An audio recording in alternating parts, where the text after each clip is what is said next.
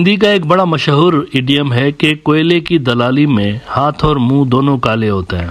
यानी कोयले की कान में कोई बंदा अगर काम कर रहा हो या कोयले से जुड़ा हुआ कोई काम कर रहा हो तो डेफिनेटली उसके हाथ या उसका जो चेहरा है उसके ऊपर कालक ज़रूर पड़ती है। आ, अमेरिका का कुछ इस तरह का मिसाल है आजकल। गज़ा के अंदर जो जंग चल रही है इसमें डायरेक्टली तो अमेरिकन बूट्स ऑन ग्राउंड नहीं है।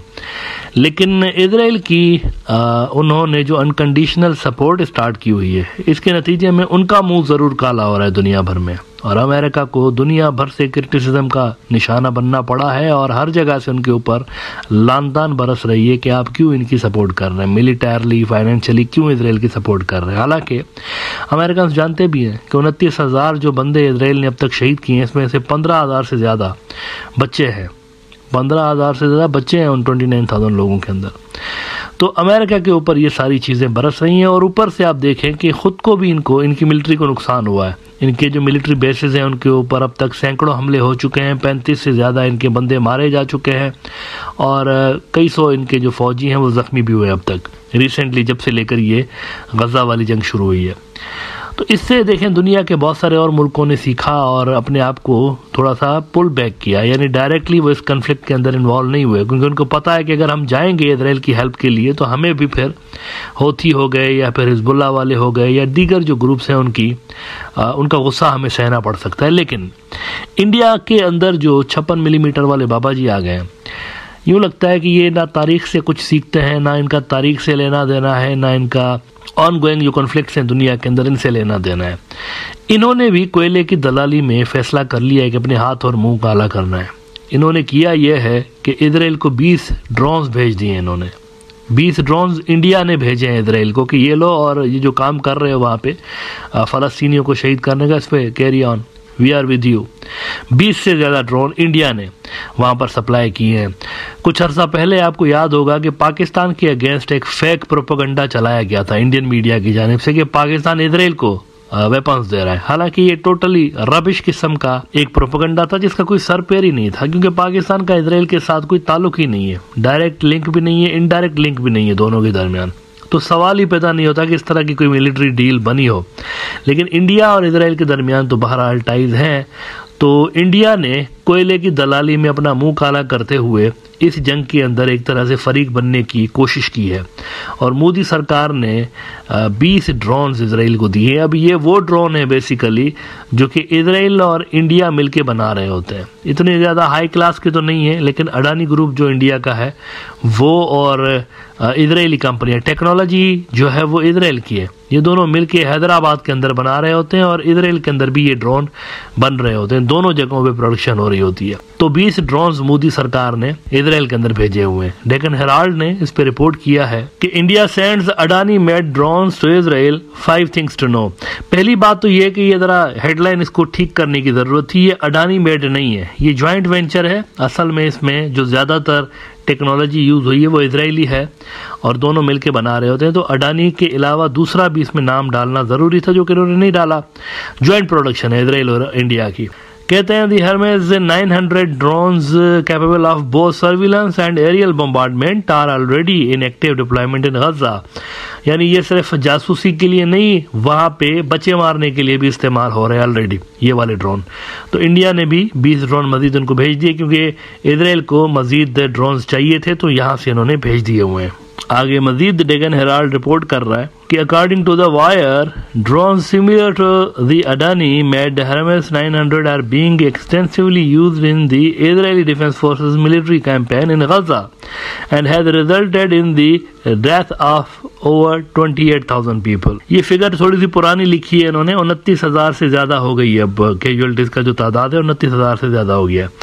More than 20 Hermes 900 medium multitude long endurance male unnamed aerial vehicle have been supplied to Israel according to media outlet Shepherd media तो ये वहाँ पर एक बड़ी डेवलपमेंट हुई है। इसके नेगेटिव असरात हो सकते हैं इंडिया के ऊपर। क्योंकि वहाँ के जो ग्रुप्स हैं, जो कि अमेरिका के ऊपर हमले कर रहे हैं और अमेरिका पे वो टारगेट कर रहे हैं अमेरिका के एसेट्स को, वो जस्टिफिकेशन ये दे रहे हैं हम लोग की कि देखें ये वेपन सप्लाई कर रहे हैं इसराइल को। तो अगर आप बेल मुझे मार वाला हिसाब किताब बीजेपी सरकार ने इंडिया के लिए भी यहाँ पे रख दिया और खुल्लम खुला ड्रोन सप्लाई करना शुरू कर दिए इन्होंने तो इट मीन्स वो इन्हीं ग्रुप्स को चैलेंज भी कर रहे हैं कि देखो हम भी दे रहे हैं ड्रोन्स आपने जो करना है, कर लें, हम भी ड्रोन्स दे रहे हैं इसराइल को। तो ये बड़ी नेगेटिव चीज़ हुई है। इसको अगर आप स्ट्रेटेजिकली देखें तो बड़ी नेगेटिव डिसीज़न मेकिंग है। पॉलिटिकली इनको फ़ायदा होगा इलेक्शंस आने वाले हैं हिंदुत्व के गुंडे जो है, वहाँ पे वो खुश होंगे। ये कमाल कर दिया। हमारे छप्पन मिलीमीटर वाले बाबा ने, हमने हेल्प की है इसराइल की, और यही तो हम चाहते थे, वो तो खुश होंगे। लेकिन इंडिया के नेशनल इंटरेस्ट के लिए ये चीज़ ज़्यादा कोई बेहतर है नहीं। ऑलरेडी यूएई पहुँच के मिन्नतें तरले की हैं उन्होंने, और वहाँ पर इनके दौरे को बहुत ज़्यादा बढ़ा चढ़ा के इंडियन मीडिया ने दिखाया। मोदी साहब हाल ही में गए दो चार रोज़ पहले यूएई गए। और वहाँ पर असल में ये एक मंदिर का उद्घाटन करने गए थे। साथ ही कुछ एमओयू साइन किए हैं, जिसको बहुत बड़ी कोई विक्ट्री बना के और इंडियन मीडिया जता रहा है कि कोई इलेक्शन आने वाले ना एज एसेड तो हर छोटी सी चीज़ को बड़ा करके लगा रहे ताकि इनकी पीआर बने और वहाँ पे रेपुटेशन थोड़ी सी बेहतर बने पब्लिक के अंदर। वोट बैंक का चक्कर है सारा। हिंदुस्तान टाइम्स ने एक ऐसी ही छोटी सी खबर को बड़ा करके दिखाया है। लिखते हैं कि India UAE demolish China's Gaza war hope Modi Mohammed bin Zayed sign deal on IMEC countering these B R I pet plan वो कहते हैं, बच्चा पैदा हुआ नहीं, पहले से ही बोल रहे हैं कि ये नानी पे गया बिल्कुल. अभी आई में एक बच्चा है, पैदा भी नहीं हुआ। तो पहले ही बोल रहे उसको तबाह कर दिया भाई पहले लॉन्च तो करें आप, एक चीज़ है ही नहीं ग्राउंड पे पहले से हेडलाइन लगा रहे हैं कि तबाह कर दिया इसने। इसका जरा मैप देखिए। आई मैक का मैप देखिए। ये है मैप इसका। मुंबई से लेके बाय सी इनके जहाज़ जाएँगे और ये यूएई पहुँचेंगे। यूएई से फिर रेल के ज़रिए और रोड के ज़रिए ये सऊदी से होते हुए उर्दून पहुँचेंगे। उर्दून से ये इसराइल जाएँगे। इसराइल से यूरोप जाएँगे। नाउ इशू इज़ दैट यहाँ पे सऊदी अरब राज़ी नहीं हो रहा नॉर्मलाइजेशन के लिए कि हम इसराइल के साथ नॉर्मलाइजेशन तब तक नहीं कर सकते जब तक फलस्तीनी रियासत ना हो। और वो भी अब देखें, मसला यहाँ पर ये क्रिएट हो गया, ये जो ट्वेंटी नाइन शहीद हुए हैं, ये कहीं ना कहीं पे तो जाएगा ना खाता। ये ऐसा ही Israel will not get away with that ऐसा ही मतलब हवा में कि उनतीस हज़ार बंदे मार के बाद अभी सही हो गया सारा कुछ, ऐसा नहीं होने जा रहा। ये सारों का हिसाब किताब होगा। ये कहीं ना कहीं पे किसी न किसी के ऊपर इसका मलबा आएगा इसराइल के अंदर। तो ये जो है ना सऊदी अरब वाले, उन्होंने कैटेगोरिकली कहा हुआ है कि नॉर्मलाइजेशन हो नहीं सकती जब तक कि फ़लस्तीनी रियासत ना हो। तो ऐसे में आई का क्या फ्यूचर है। जब उसके अंदर जो शामिल मुल्क हैं, वो आपस में ही इतने ज़्यादा उनके ख़राब टाइज हैं उर्दून और इसराइल के टाइज कितने ख़राब हैं।